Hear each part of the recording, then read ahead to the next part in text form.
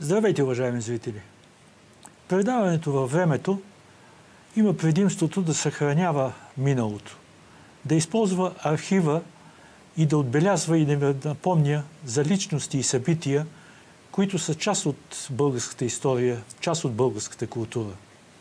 Особено когато става дума за един човек за 100 години направил колкото за три живота. Говоря за Анжел Вагенштайн. За човека, който през целия си живот воюва за идеалите си, написа световна литература, създаде филми и през целия си живот се бореше за социална справедливост. Това му беше сякаш мотива. С него в архива си имам три едночасови разговора. Последователно ще ги излъчим, ще ви припомним Анжел Вагенштайн, борбите му в живота, отношението му към света, към войната, към хората, книгите му, наградите му, филмите му и най-важното, което казах, социалната справедливост като едно кредо за целия му живот. Вижте.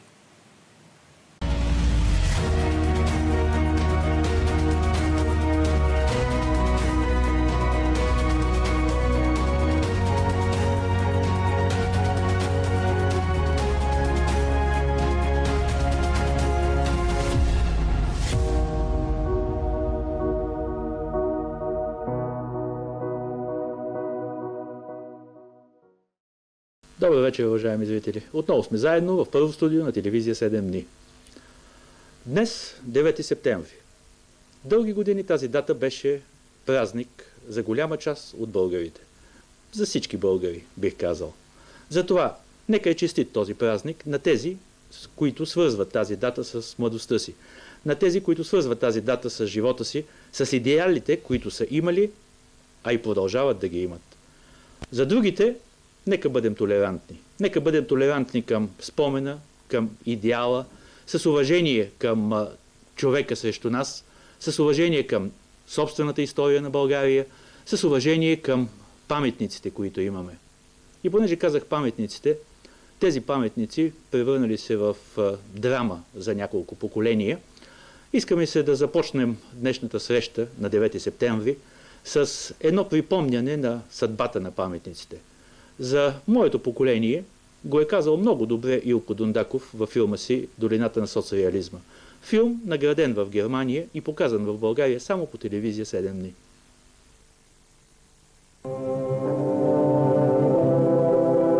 Родил съм се малко преди да пристигне социализма в България. От капитализма съм успял да получа една привилегия – да бъда кръстен в църква. Но социализма не ме научи да се кръстя. Учиха ме да вярвам в позлатените бюстове на Ленин, Сталин и Димитров. По-късно, като пионерче, стоях мирно на пост пред тези бюстове, за които детската ми душа бе повярвала, че са вечно живи. После събориха Сталин, събориха и бюстовете му. Вярата обаче, в която ме възпитаваха, трябваше да остане. Така и пораснах. Днес вярата в Господа а с вярата в бюстовете и паметниците на една система, която изглеждаше вечна.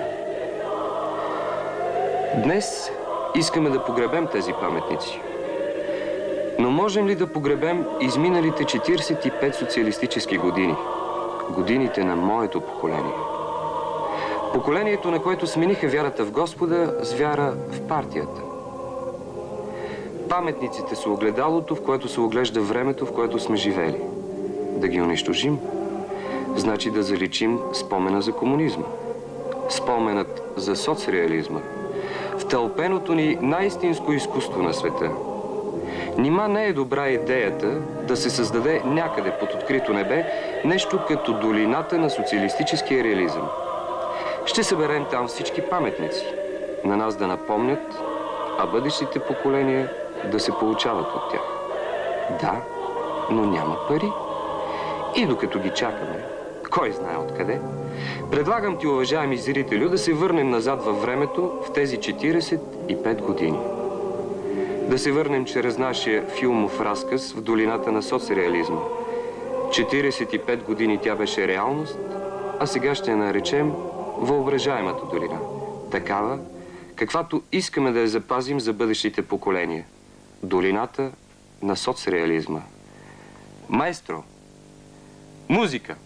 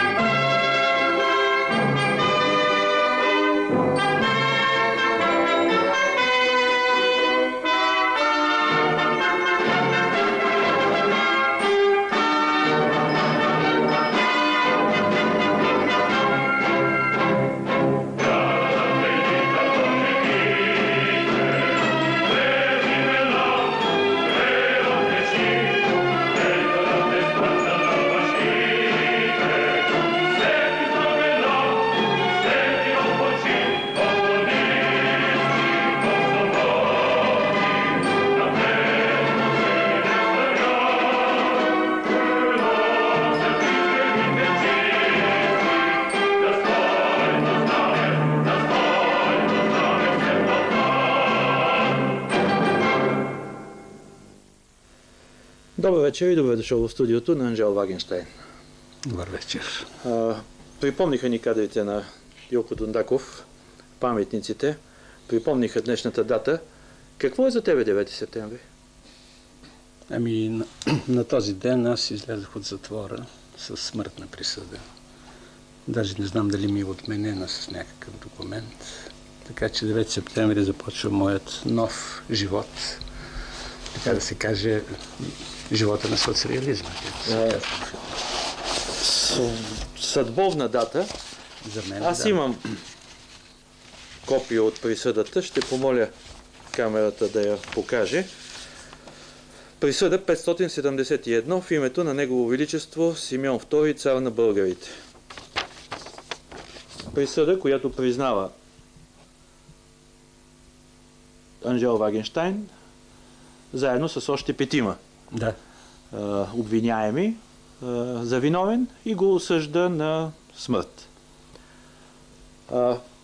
Присъда, в която е записано, че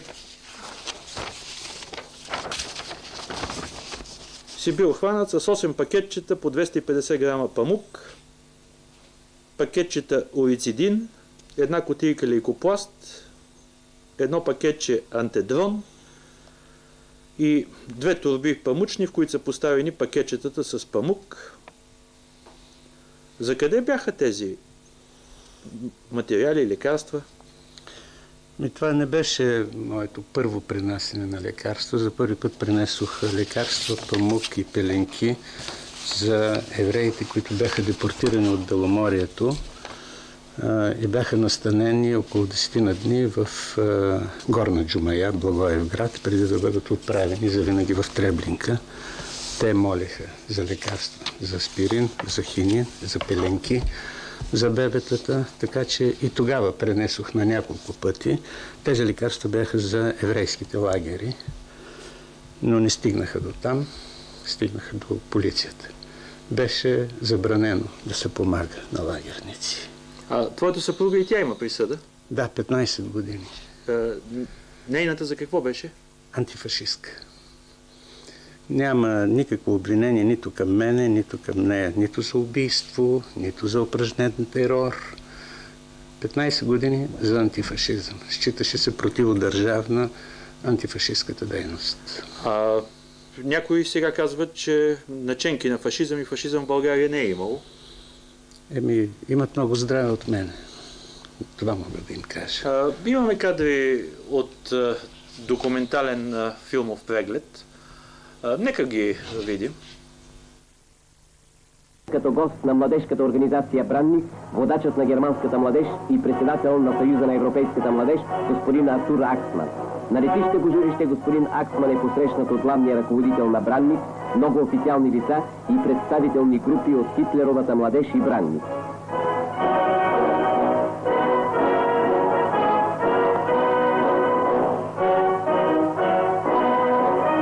същия ден министър-председателят господин професор Филов прие господин Аксман и води с него сърдечен разговор.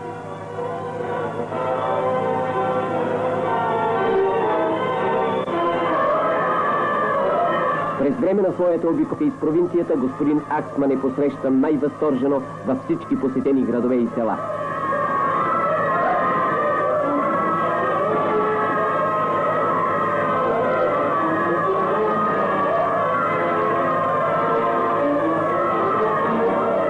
Водачът на германската младеж върху едно от прочутите пловдивските пета. Пред гостите се разстила хубавата втора столица на България.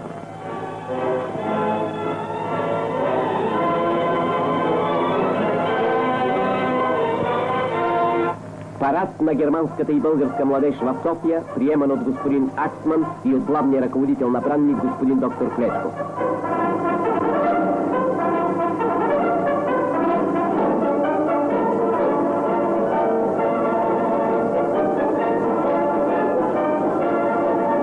Младежта е най-свидната надежда и най-верната опора на държавата. Българската младеж е нашата гаранция за светли и славни дни.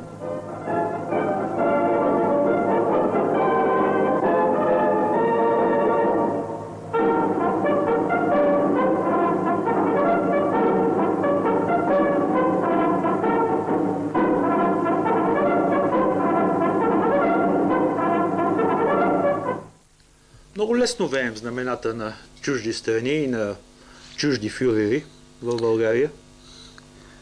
Ами, вижте какво, ако веенето на знамена, дигането на ръце, парадите са всичко, което може да се каже за фашизма, е, с мед да го храним. Тоест и ако парадите са всичко, което може да кажем за тоталитаризма, също така смет да го храним. Работа е, че фашизма, това е кървав терор. Това е лишаване на хората от въздух за дишане. Това е претъпкани затвори с политически затворници. Това са избити по мегдани по планини антифашисти. Фашизмът е нещо много по-страшно това, което се показва. Това е парадната страна. Годината е 43-та. Ние имаме от архивните кинопрегледи много кадри. Ще ги показваме, защото историята не бива да се забравя. Във всеки един от тях присъства Бекерле с неговата активност. Той е обикалящ страната, приветстващ, посрещащ, приеман. Така много сериозно напомнят тези кадри за някои отношения от днешния и вчерашния ден. Да, как посрещаме посланниците от зад океана или от и по-миналия от, от изтока. В един от първите филми, мисля, че е правен 51 година, Тревога, по курсова работа, тогава да, е... на Анжел Вагенштайн. Да. Също има много документалистика и кадри. Ами целият финал на филма е чиста документация, посрещането на партизаните и на Червената армия. Съжалявам, че го нямате да го покажете. Да, Това е автентично. в- Това не може да се подправи. В България старите филми всичко е заключено и е под авторското право собственост на държавните медии, които не го използват, не го показват, но не го и дават. Така че нямаме достъп. Да, за съжаление искам да ви кажа, че това са документални кадри, върху които никой няма авторско право вече. Никой няма авторско право, освен българския народ, който има право да види и да знае. И тогава ще види и ще знае какво е 9 септември. А, същата тема продължава, макар че насочена към евреите във филма Звезди. На времето България получи 12 най-престижни международни награди за този филм. Ами, да. а, И той е в архивите. Той е в архивите и аз много съжалявам, че не го пускат. Особено сега, когато беше големият спор по въпроса за паметника или за еврейската гора край Иерусалим. Аз съм един от автентичните свидетели на депортацията на беломорските евреи. Аз лично ги посрещнах на гара Крупник. Както вече ви казах, след това бях един от тия, които се опитаха да организират подпомагането им в лагера, той е временен междинен лагер, преди да бъдат предадени окончателно на германците за изтребление в Треблинка. Филмът Звезди е една малка страничка от това. Филмът е много автентичен. Това е моето преживяване. Аз съм онова момче, което внася лекарства в еврейския лагер. Аз съм това момче. Даже и парадоксът е автентичен. Един германски подофицер, който ни даде лекарства, който даде една пушка за партизаните и една офицерска мушама. Те съществуват още в Благоевград, в музея. А, За да не си помислят някои от по-младите ни зрители, че това е измислено, защото то беше отречено, че България участвала в депортацията. А, Чуха се думи, че е било така фашизоидни реплики дори в парламента. След това принудили министър-председател и президент да се извиняват. Нека видим няколко минутки от филма на Нюма Белогорски, доказващи съществуването на тези факти. кино и фотодокументи. Точни, неумолими. Това са хванати мигове от мартинските дни на 1943 година. Вглеждаме се в детайлите.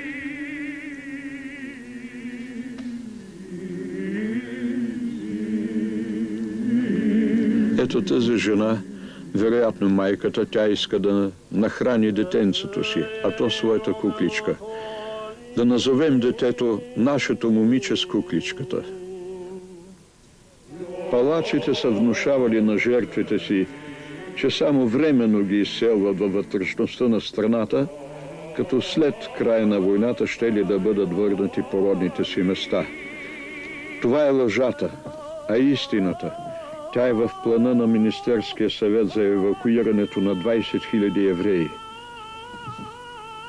Белев, като комисар за еврейските въпроси и пълномощник на министра на вътрешните работи и СС Хаупштурмфюрера Даникер, като пълномощник на главната служба за сигурност на Райха, вече са сключили на 20 феврари 1943 година писмено споразумение за депортация.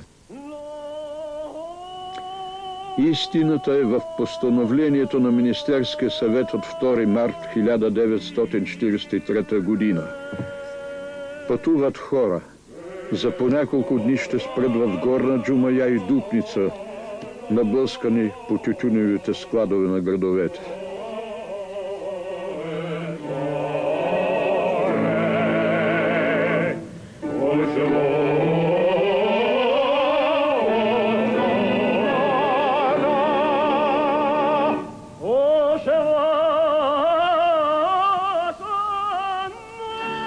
А след това до Дунавското пристанище в Лом. Депортирането наблюдавано зорко от комисара за еврейските въпроси Белев. Той е навсякъде.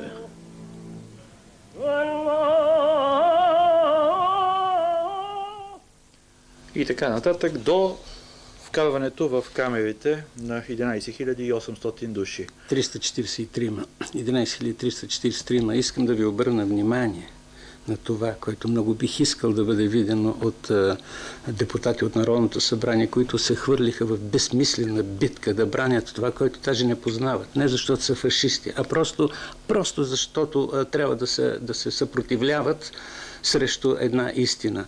Тук, в този материал, който показахте на нашия Нюма Белогорски, покойният, да сте видяли една германска униформа, един германец. Аз съм личен свидетел. Аз мога подклетва да съобща в съда, че до на Джумая нито един германец не придружаваше евреите. Само българска полиция. В Горна Джумея те бяха охранявани само от българска полиция, която накрая се смени с германска, която те бяха предадени на германците. Това е един много важен момент. Хубаво е да се вгледат тези, които безсмислено защитаваха една лъжа. История са тези кадри. Да се надяваме, че няма да се повторят изобщо в човешката история. Да И въпреки това, защо си мислиш, че днешните управляващи в България не казват една осъдителна дума за този период от българската история, от външната политика през този период на България, е донесла и довела е до национална катастрофа и последвалите събития? Аз мисля, че това е една тяхна генерална, стратегическа грешка. Това, че те не се дистанцираха от престъпленията на фашизма. А те обратно – те се опитаха да ги отрекат, с което те фактически се солидаризират с фашизма. Защо го правят това сега, в края на 20 век? Аз питам, кога, къде, кой от управляващите, кой от Съюзно демократичните сили осъди Холокоста, фашизма, айде в България нямало фашизъм. Имало ли е убийства? Имало ли е този комисар Белев? Имало ли е тая депортация? Опита ли се някой да осъди? Те само се опитват да оправдаят и през цялото време да оправдаят, с което стават, за съжаление, солидарни с едно а, гигантско престъпление. Казах Холокоста. Имам пред мен едно писмо, подписано от Стивън Спилбърг. То е благодарствено писмо за споделените спомени, цитирам – за това, което сте преживяли в годините на Холокоста и разказа, който дава възможност на поколенията да усетят своята лична връзка с историята.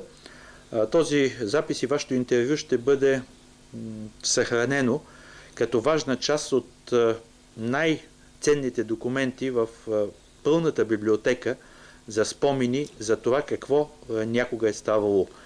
В далечното бъдеще да могат хората да видят лица, да чуят гласове, да се запознаят с съдби, за да слушат, да се учат и винаги да помнят.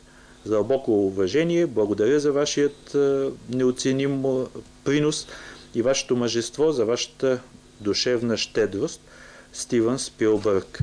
Е, това е интервю за тези събития. Ами има в въобще в тези интервюта, това не е само едно интервю, това са правени интервюта с много преживели българския холокост и, европейският холокост. Това е добре, че Спилбърг го прави, че Спилбърг, така неговата съвест се възбуди, особено след списъка на Шиндлер и във връзка с правенето на филма Списъка на Шиндлер. Сега това е една мощна фундация, която се нарича Шоа. Шоа на иврит е Холокост. Тъжното е, че Спилбърг, оттатък, отвъд океана, един американец, но американско момче, събира всичко това, за да се запази. А в България не желаят да го чуят, не желаят да го знаят, не се опитват да го запазят. Обратно, опитват се по някакъв начин да го турат под чергата. Обаче буклук, който се подмита по чергата, замирисва рано или късно.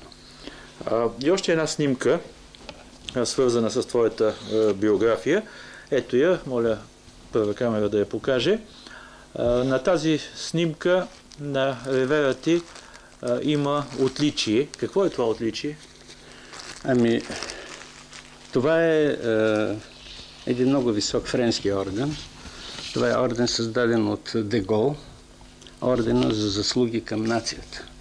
Този орден ми е даден за същите деяния, за които съм осъден на смърт през 1944 година и за същите деяния, за които в Народното събрание не веднъж и в пресата ме нарекоха бандит, престъпник, кокошкар, мене и моите паднали другари, антифашисти. Ето, Спилбърг благодари за тия спомени. Франция ме прави човек заслужил за нацията. За коя нация? Ами става дума за Европа, за битките срещу фашизма. Връчвам един орден, който е приравнен с ордена на почетния легион. В България те наричат бандит. Питам, кой е прав от тези? Аз се усмихвам, защото да наречеш бандит един човек направил безкрайно филм и донесъл награди и престиж на страната, написал много неща. Значи Анжел Вагенштайн си е джеки и за интелигенцията, и за младите, и за историята. Като влезохме в студиото, наш, един от нашите оператори каза преди малко, о, българското кино влезе в студио на телевизия 7 дни. Благодаря. Часто Аз си позволих а, малко повече, защото си очевидец на тези събития и защото в днешния ден а, едва ли някъде другаде ще стане дума, а мен ми се иска да кажа няколко имена и да прочета един стих, защото мисля, че Левчев да го беше казал в един свой стих, че се учи да пише стихове в страната на убитите поети. И от една книга, издадена от издателство Народна младеж, аз ще прочета имената на тези убити в само от в периода януари 9 септември 1944 година убити поети антифашисти. Цветан Спасов, Христо Козлев, Иван Нивянин, Атанас Манчев, Васил Воденичарски, Марко Ангелов, Иван Стоянов, Стефан Йовчев, Благой Бонков, Кирил Маджаров, Александър Маджарски. И многоточие за следващите. Като прибавим към тях Гео Милев, Христо Ясенов, Сергей Румянцев, Тончо Стаевски а, и така нататък. Гео Милев. А, Гео Милев и да прочета един чудесен стих. Аз съм завършил прогимназия в училище Цветан Спасов в Плевен от Цветан Спасов. В такава нощ ще ме загубиш, ще писне сова в мрачината, след писъка на вражески куршуми, на гроба ми цветя ще носят другарите, ще плаче майка ми и ще нарежда скръбно спомени. В градината ще цъфнат макове, животът ще блести с възторзи, щастливи ще се любят младите. Ела последен път на гроба ми и разкажи, че моите иллюзии се сбъднаха така разкошни. Чудесно. Идеала. Много хубаво. Какво стана с идеала? На тези а, млади хора, м, загинали, написали блестящи стихове и отдали живота си за един идеал. Какво стана с идеала след 9 септември? Първо за, за убитите и за падналите. Ана Зегерс казва, мъртвите остават млади. Аз искам да прибавя, мъртвите останаха и чисти. Те не се умесиха нито с власт, нито с пари, нито с резиденции, нито с ексиноград, ползван от минали и сегашни властелини. Те останаха чисти. Аз искам първо да възбуда уважението на нацията към тези, които паднаха за България. Защото падналите в битките срещу фашизма са паднали за честа и достоинството на България. Първо за тия мъртви, искам да кажа. С уважение, с преклонение и с мълчание. Що се отнася до идеалите? Ами, вижте какво. Идеалите си остават някъде дълбоко в душата на хората. Те са като подпочвени реки. Те продължават да текат. Опитаха се да ги опоручат, да ги умърсат, да ги докоснат с нечисти ръце, да ги употребят за нечисти цели. Но самият идеал сам по себе си, той остава. Кръстоносните походи е, умърсиха в много отношения християнството, но самото християнство като идеал, неговата ценностна система остана. Е, Един пиян поп е, не е, омърсява името на Христос. По същия начин искам да кажа, че идеала в този най-чист, най-духовен, най-дълбок смисъл на думата, той си остава, той ще остане. Той не може да бъде ликвидиран и изтръгнат от душата на, на, на народите. Лошото е, че с него си играят, че се опитват да го злоупотребят, се опитват да го употребят за нечисти цели. След девети неведнъж това бе правено, пък и преди девети. А Народният съд и последвалите репресии? Първо, Народният съд не е репресия. Искам да ви кажа, Народният съд не е репресия. Народният съд България бе е, задължена да проведе такъв народен съд. Той се проведе под наблюдението на съюзниците. Съюзническата мисия беше в Народната банка. Целият горен етаж на Народната банка, там се вееха американски, английски знамена много дълго време. Това беше Народният съд. Аз само едно знам, че има вероятно в вълната, която заля Европа веднага след края на Втората световна война, има и отнесени, така да се каже, от вихара, невинни хора или не толкова виновни хора, или несправедливо тежки присъди, но като цяло това не бе репресия.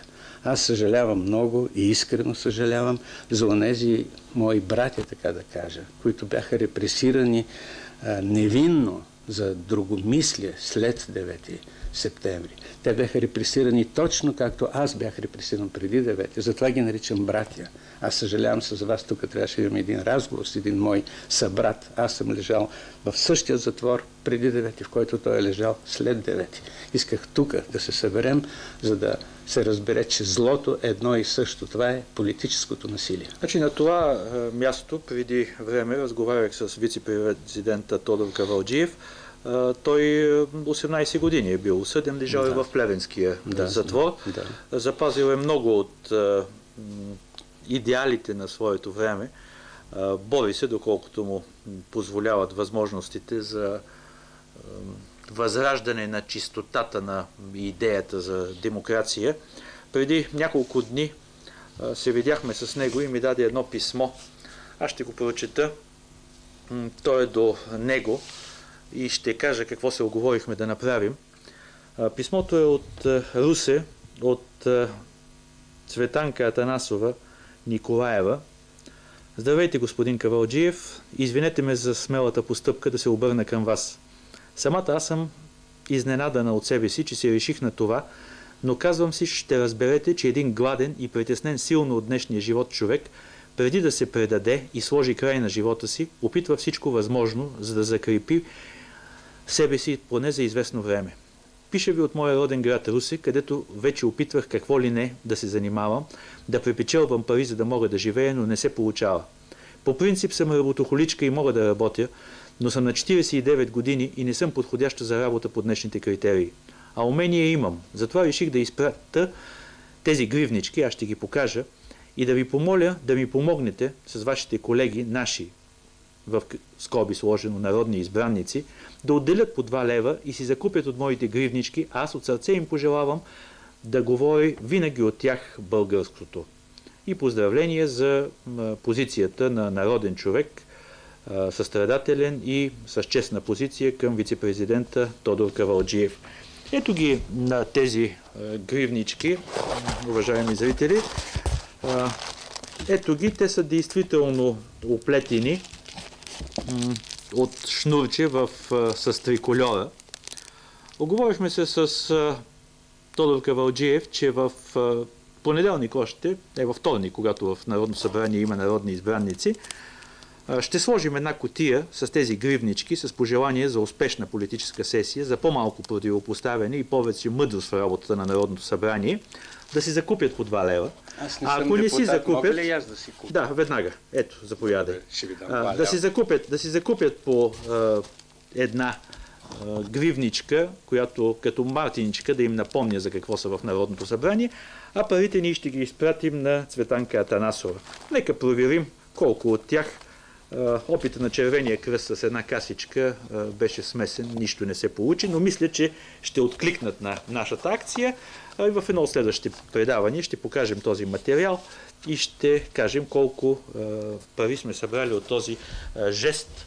Ако аз съм първия, да знаете, че аз имам много добро севте. Да първия си, дано, дано, дано е така. Дължиш 2 лева. А, ще получиш веднага.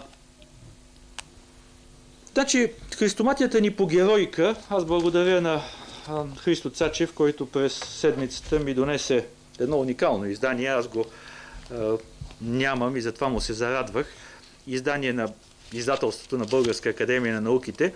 Това е издание на стихотворението Вяра на Никола Йонков Вапцаров, издадено на 35 езика. На толкова е било преведено, събрано. За съжаление, предговора към това издание, вижте го, уважаеми зрители, сувенирно. То е свързано и с това, че той е носител на май единствената голяма европейска награда за поезия. В предговора на това издание не е подписан. Има, той завършва с следните думи. Прострелян в тунела на гарнизонното стрелбище, Никола Вапцаров остави на България и света един светъл символ, една светла вяра и своите светли песни. Останалото е познато. И бурята, и куршумът, и животът след него. Останалото е познато. Да. Само, че той е издаден 84-та година и никой не си е мислил, че ще се заговори за реституиране на терена около мемориала гарнизонно стрелбище. Ето това издание, което е събрало снимките на 59 души са разстреляни там. А, и то войници разстреляни за дейност в казармата от а, своите а, приятели от ротата, в която са служили. А, ужас са изживяли момчетата. А, генерал Заимов е разстрелян там. А, много са имената. Аз си отбелязах и исках да прочета, защото се развълнувах, припомняйки си тази част от историята. Кога тази част от историята ще заеме истинското място в историята на България? Тя се прескача в момента. Прескача се в учебниците, прескача се в училищата, прескача се в медиите. Няма я в изкуството.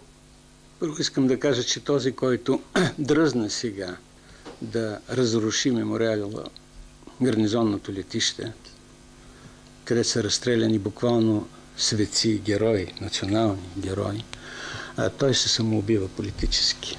Аз така смятам. С а, разрушаването, премахването на този мемориал, спомена няма да се премахне. Обратно, според мен, те ще бъдат още по-възвисени в а, благодарната памет на нацията. Не дай Боже да го направят. Не ги съветвам да се самоубиват. Не ги съветвам. Това е голямо и свято място. От Вапцаров до Заимов и цялата гама хора. И Мавзолея беше паметник, събориха го.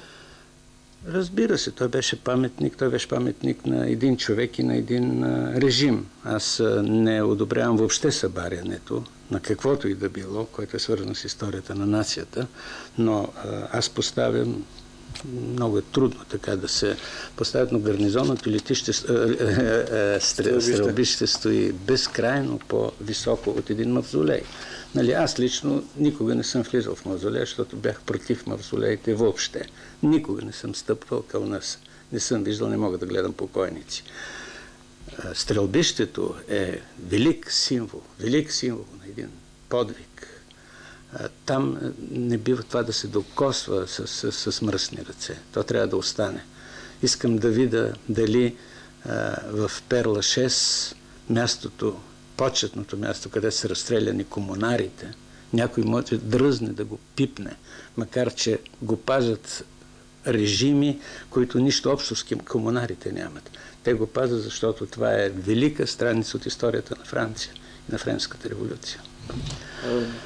Пак ще те върна към темата за идеала. Къде се загуби идеала през годините? Къде стана грешката, че няколко поколения трябваше да преживеят този катарзис и усещането, че живота им е минал на празно?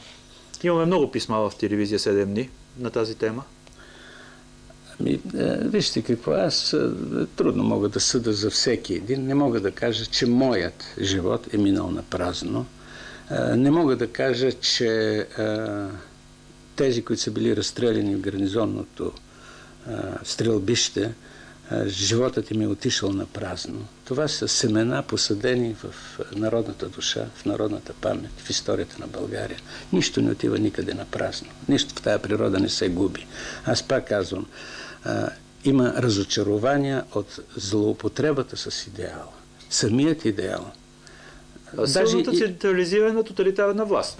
Разбира се, това, това беше злоупотреба с идеала. Тези, които мряха по Балканите, мряха не за това. Искам да ви кажа, че навсякъде ще срещнете думата свобода и хляб. Нали? Едното даде социализма, даде хляб, от, но не даде свобода. От построеното през годините управляващите след 89-та година натрупаха богатство. Еми, това е друга трагедия на нацията и друга тема. Тя не е свързана толкова с 9 септември.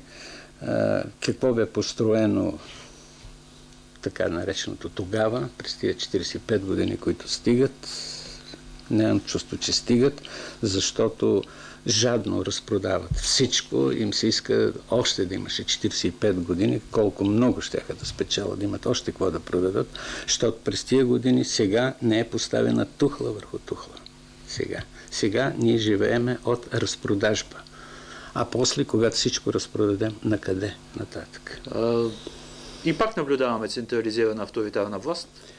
И аз не бих казал, че е толкова централизирана и толкова авторитарна, но за съжаление тя проявява Питайте много кметовете, силни... кметовете и някои общини на какво дирижа са. Да, знам, те са в катастрофално положение, но бих искал тенденциите да не бъдат вече така, да не бъде поставен знак на равенство с свършен факт. Тази власт сега не е тоталитарна, но проявява, уви, такива авторитарна, такива тенденции. Тия тенденции са опасни. В тази власт вътре се крият, има парафашистски формации, какъвто е Съюза на българските национални легиони. Те не са сега фашисти, но те проявяват фашистски тенденции. Да, искам да кажа, че тенденцията е също опасна, защото тя води винаги към една гара, наречена диктатура, тоталитаризъм или фашизъм. Знаеш ли, през седмицата аз така усетих едно изказване и едно интервю в Вестник новинар, пак ще помоля първа камера да го покаже. Професор, академична титла, казвам го с ирония, ще кажа, уважаеми зрители, защо. Ото Кронштайнер, българист. Българист, награден с най-високото българско отличие от президента на Република България, с ордена Стара планина с лента. Та този професор от Австрия официално казва, кирилицата е комунизъм, пишете на латиница. И не само казва, но го и доказва с твърдението си, че на него кирилицата му напомняла за съветската окупационна армия в Европа. И затова, ако искаме да ставаме граждани на света, трябва да пишем на латиница. А, и, знам, китайци, и китайците. И китайците, и гърците, и а, редица други страни и народи, които пазят културите си. Не знам дали немският, на който говорят в Австрия, не му напомня за Хитлер. За Хитлер. Нима, това не е някакво проявление на Хайдер, от който Европа се страхува. И твърдението и доказателството, че българист може да го твърди, той изследва българския език и славистиката и говори за промяна и казва, че това рано или късно ще стане. Страшно ми прозвуча, цинично ми прозвуча, нагло ми прозвуча, срамно ми прозвуча, защото е носител на орден Стара планина. Но мен не почти знам. не ми се вярва, дано това да се окаже някакво недоразумение или за, нещо За съжаление, не, не за съжаление е истина. Появиха се и коментари на Ужасно. доценти, на професори от университета. Срам за а, всички ни. Така е. А, уважаван, канен, а, слушан а, в а, България. А, сигурно ще има и други такива случаи. А, трябва да бъдат поставени на мястото си. През седмицата беше отбелязан един ден в 15 европейски града на еврейската култура. Смисъла му? Ами, е, вие знаете така, така да се каже заглавието на този ден, да се запознаем, ние сме евреи. Еми, това е едно противопоставяне пак на някои националистически, парафашистски тенденции в някои страни. Да се кажа, пост-холокоста изисква и стъпки да се види кои са тези, които трябваше да бъдат унищожени изкорен. Какви са те, каква е тяхната култура, какви са техните приноси към европейската и световната цивилизация. Това е хубаво. Трябва да има и други подобни дни, да кажем, да се запознаем. Ние сме българи също така. Повече самочувствие имат евреите от славяните. Сега, ако някой издигне апел да се направят в Европа дни на славянската култура, ще бъде упрекнат, не ще бъде обвинен. Не съм сигурен. Трябва някой да, да, да поеме тази инициатива. Поемете 7 дни. Аз съм сигурен, че ще намерите... 24 май. Добре, няма за 24 да няма май. да ви помогне Кронштайнер, но ще се намерят хора, които ще ви помогнат. А, защото а, духа на Европа е славянската култура, така поне а, беше, ако тялото е техниката, духа. Да, да, така. А, славянската култура. А, ами хубаво. Значи България има своя цивилизационен избор. Ценностна система европейска. Понеже сме 9 септември, пак говорим за идеали и за ценности. Кои са според тебе ценностите, за които трябва да се убива и те да се налагат със сила? Има ли такива ценности? Не, няма такива ценности. Няма такива ценности. Но все пак искам веднага да кажа, че а, през време на Втората световна война светли момчета, англичани, американци, французи, руснаци, партизани, югославски, парижки партизани, фронтириори, те също така убиваха. Това беше кръвопролитна, страшна Втора световна война, която на много места, да речем България, се превърна в гражданска война почти. Така че може да се случи и да, да убиваш. Може да се случи. Но аз смятам, че така, големите светли идеали се утвърждават, доброто се утвърждава с добро. Доброто не може да бъде утвърдено с насилие. Преди година и половина в това студио разговаряхме по повод книгата Петокнижие Исаково. Тя беше наградена тогава от, с годишната награда на издателство Христо Ботев за нещата от живота на Исак Якоб Блуменфелд през две световни войни, три концлагера и пет родини, както беше живял. Тогава току-що приключваше войната в съседна Югославия и казахме в това студио, ти го каза, че някой ще се опита да се завие с одялото на победата. Успяха ли да се завият с одялото на победата? Одялото на победата винаги е твърде късо. Ако искаш да си, това го казва Блуменфелд, да си завиеш гърдите, оголваш краката. Ако искаш да си завиеш краката, оголваш гърдите. Никой не се зави с одялото на победата, обратно... Ама заради това зави. ни поканиха, заради българската позиция, ни поканиха за участие в преговорите за присъединяване към Европа. Ама много хубаво е да получаваш покани, но хубаво е да пазиш честа на нацията. По същия начин ние бяхме поканени 1941 година, 1 март, немските войски влезаха в България, пък ние ги поканихме тях, а те ни пък поканиха в Южна Добруджа, те ни поканиха в Македония и в Беломорска Тракия. Имаме за преглед филмов Скопие от днес и за винаги българско. А, така.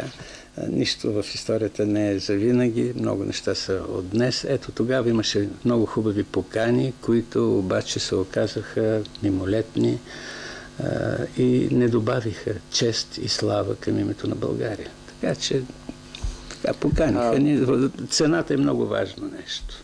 Изтръпнахме през седмицата, когато комисаря по европейската интеграция господин Ферхойген, каза, че е лошо, че няма референдум, за да гласуват немците дали да се разширява Европейския съюз. Преди това в Австрия има такива гласове срещу унгарците заради по-низките заплати, че не искат да ги приемат. Смяташ ли, че може да се случи някой да дойде като в онзи вид и всичките надежди и идеал, когато сме се вторачили в една точка приемане в Европейския съюз, да каже, ах, пардон, и да ни унищожи. Може ли изобщо да бъде цел и идеал на една страна да я приемат някъде? А, въобще да бъдеш прият в едно семейство е хубаво, но искам а, да напомня, че аз съм един от тия 12 души, които закусваха тази прословута закуска с Франсуа Митеран при затворени врата във Френското посолство през януари 89 година, 10 месеца преди а, голямата промяна. Тогава Франсуа Митеран обещаваше, декларираше готовността на Европа да подпомогне такива актове в България, че да, да стигнем много бързо до момента, в който ще имаме свободен обмен на хора, на идеи, на стоки, свободно пътуване, премахване на визите и така нататък. Искам сега Франсуа Митеран да можеше да стане от гроба и да каже, извинете, момчета, не само вие си измамихте нацията и си измамихте себе си, но и аз малко ви поизмамих, защото се оказа, че не е така просто. Сега искат референдуми, падна Берлинската стена, издигна се Шенгенската стена, тя е по-лоша от Берлинската за нас, поне, поне за нас, за българите и за хората от източна Европа. Берлинската стена беше по-лесно преодолима, отколкото сегашната шенгенска бариера. Вкараха ни в черни списъци. В момента аз съчувствам дълбоко на словашките цигани. Вие знаете, че Словакия в страни възстановиха визовия си режим с Словакия заради циганите, словашките, които от нема и къде нахлуват по Европа да си търсят хляба. Питам се, какво ли е сега положението на словашките цигани, когато всеки словак ще почне да плюе по тех и да каже, заради вас ни затвориха в къщи, заключиха вратите към Европа. Е, горките цигани, наистина. Е, хубаво е да бъдем в едно семейство. Много бих желал час по-скоро да бъдем в това семейство. Само отново повтарям, цената. Много важна е цената. Какво ще платим за това? Ако трябва да платим с националната си чест, е по-добре да се останем тук. А, цената? Кой плаща обикновено цената? Народа, само народа, уви. Разкажи онзи случай с плащането. Кой беше? С, с писмото. Дето го предавали на папата, има го в е, книгата, дълъг, която спомена. Айде да го оставим. Добре. Той, той е дълъг лиц. А, в а, плащането на цената а, участваме а, всички, а, само че не всички получават еднакво. Нещо. Да. Изчезна економиката на България, изчезнаха изградените производствени мощности, разпродадоха се на парче, разпродадоха се на стотинки. Ето. Предстои това. това. Е. Това е. Остана. Ето, това Труда остана. на една жена, която Една плете жена. гривнички. Гривнички, за да може да яде. Да. В следващия период сигурно ще има постприватизация, ще има доказателства за това къде са изтекли и как са раздадени строени с години и скъпо струващи машини и съоръжения на братовчеди или на роднини от работническо-менеджерските дружества. Във всеки случай на това и за това хората ще поискат оценка, така както искат в писмата си от нас помощ. В момента не могат да получат медицинска помощ с реформата. Уважаеми зрители, ще посветим отделни предавания на този тревожен проблем, на срутилата се според вас здравна реформа в България и лекари, лекари практикуващи, дългогодишни, които са спасявали човешки животи, идват в телевизията. Донеско ни документи с материал, който показва каква реформа са ни съветвали да направим американците, разработена и те са ни съветвали имате само 28 000 лекари, дигнете им заплатите, за да ги запазите и постепенно запазете социалното здравеопазване, постепенно богатите да започнат да използват платено здравеопазване и не го пипайте. За цената на поликлиниките, за да се вземат за офиси, да се разпродадат, на цената на техниката, трупана с годините в поликлиниките, това нещо се руши с лека ръка. Да, да ви кажа, с нощи бях в Кубинското посолство.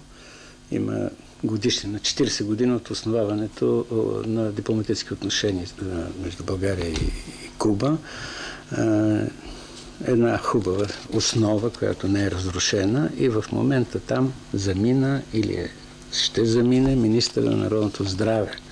Дано се научи той в Куба, бедна, изолирана страна, страна, която е, изпитва нечувани трудности, за да оцелее, да просъществува един малък остров на носа на Съединените щати, да види там какво се прави за народното здравеопазване. Дано нещо научи.